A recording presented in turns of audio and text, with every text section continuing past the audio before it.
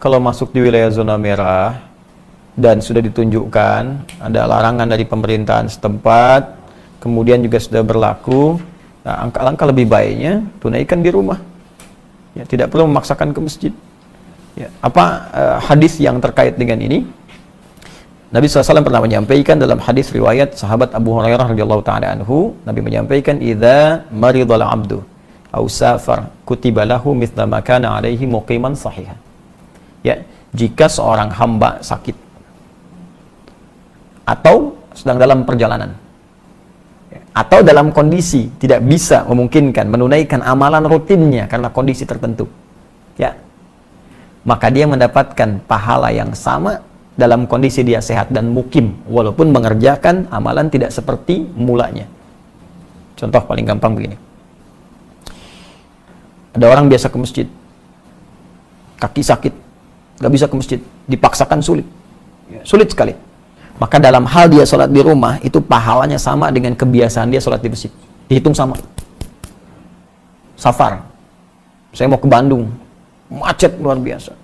Lalu saya istirahat di kilometer 57 Ya, saya sholat jamak kosor bahkan. Zuhur, asar disatukan. Dua-dua. Bahkan nggak sholat sunnah. Ya, itu kebiasaan saya tetap dituliskan serupa. Pahala yang tetap sempurna, sunnahnya dituliskan karena kebiasaan kita sebelumnya. Jadi jangan khawatir kalau Anda memang yang sudah terbiasa ke masjid, pasti ada kerinduan, pasti itu.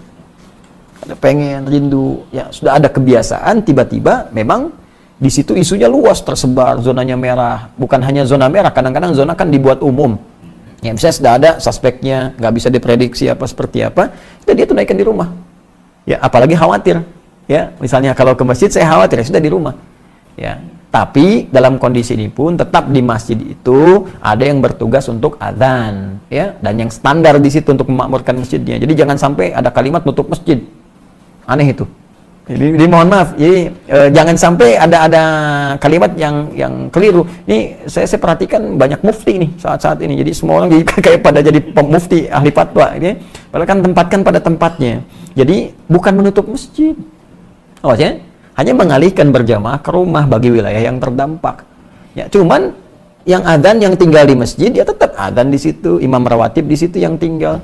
Ya yang lain di rumah. Kecuali kalau wilayah-wilayah yang zona hijau nggak banyak terdampak atau misalnya di komplek yang sudah terisolasi komunikasinya bagus orang luar nggak boleh masuk yang di situ saja misalnya yang menunaikan. Prinsipnya berjamaah itu sederhana. Sih orang sakit itu pasti nggak ke masjid.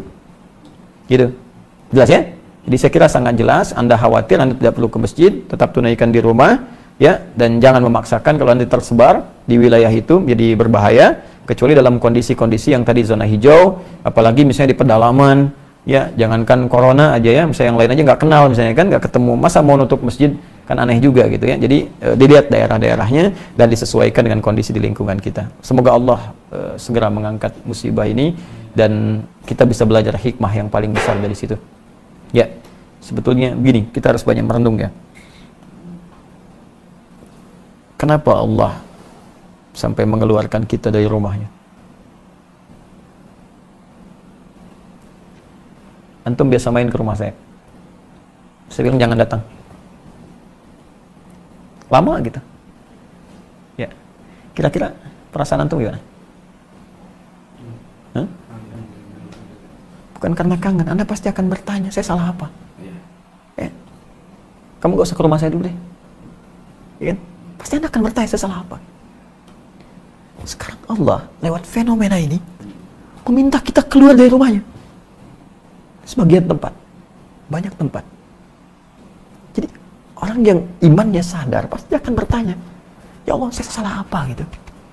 Apa yang saya perbuat selama ini? Atau apa yang salah di lingkungan saya? Karena kadang kita nggak salah karena tapi ada perbuatan lain yang dikerjakan oleh satu orang yang lain berdampak. Ya, ada ada yang demikian sifatnya. Orang mabuk berkendaraan yang mabuk dia. Cuman kendaraan nyasar sana sini yang ketabrak orang banyak. Ya makanya mabuk dilarang minuman keras dilarang karena bisa membahayakan orang lain.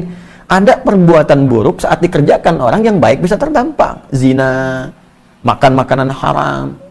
Memang ente yang zina.